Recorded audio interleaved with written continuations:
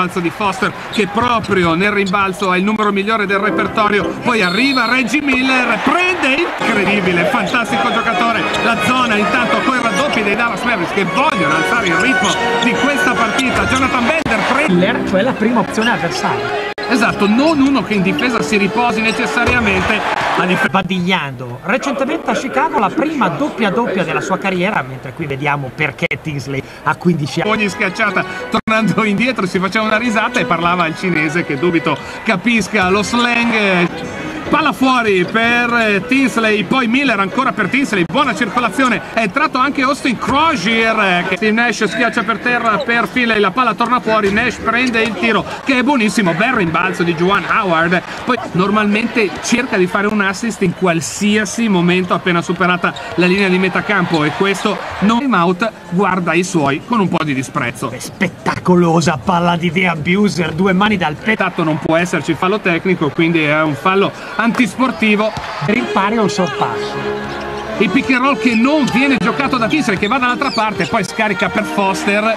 Peggio è la decisione che mi sembra corretta perché quella palla ha sostato troppo sulla macchina, ma invece arriva la palla persa per i Dallas Mavs che adesso stanno giocando non benissimo. Tiro in transizione da due. del campo mi sembra un po' indietro come giocatore NBA. Direi che il numero di errori tecnici su due lati Tinsley che raramente spinge alla massima velocità, però come vedete è abbastanza in grado di portare la palla a spazi. Vi assicuro che molti di quei 28 tiri erano buoni tiri. Bella palla di Foster per il taglio di tiro. da tifoso NBA per Foster che comunque si è ritagliato poi da giocatore il suo spazio, è uno specialista. Qua la zona concede qualche tiro. Questo è ancora Charles Bird della squadra brasiliana che ha giocato al McDonald's. Eh? Ovviamente lui tripla per Devono dare qualche contentino anche a lui e lui era fuori ritmo qua.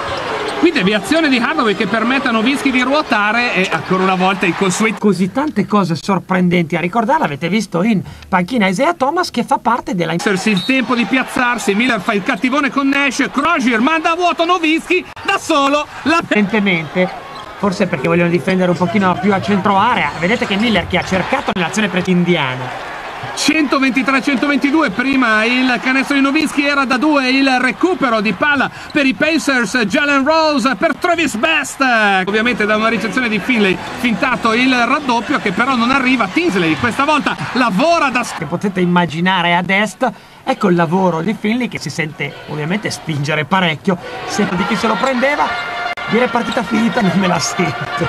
Ogni volta al primo passaggio di questa zona l'uomo in punta e l'uomo 131 però sono tanti. Ancora una volta Tisley avrebbe già un tiro comodo. No ce n'è uno più comodo da 3 di la maniera più assoluta. Jamal Tinsley riceve il passaggio di ritorno potrebbe tirare poi è solo al centro dell'area vuole passarla comunque palleggio per Travis Best. Ancora questo attacco che tutto è tranne che NBA un blocco di contenimento per i blocchi taglia Bender eh, basta anche un canestro da due punti per gli Indiana Pacers. Si va proprio da Bender che tocca il tabellone la palla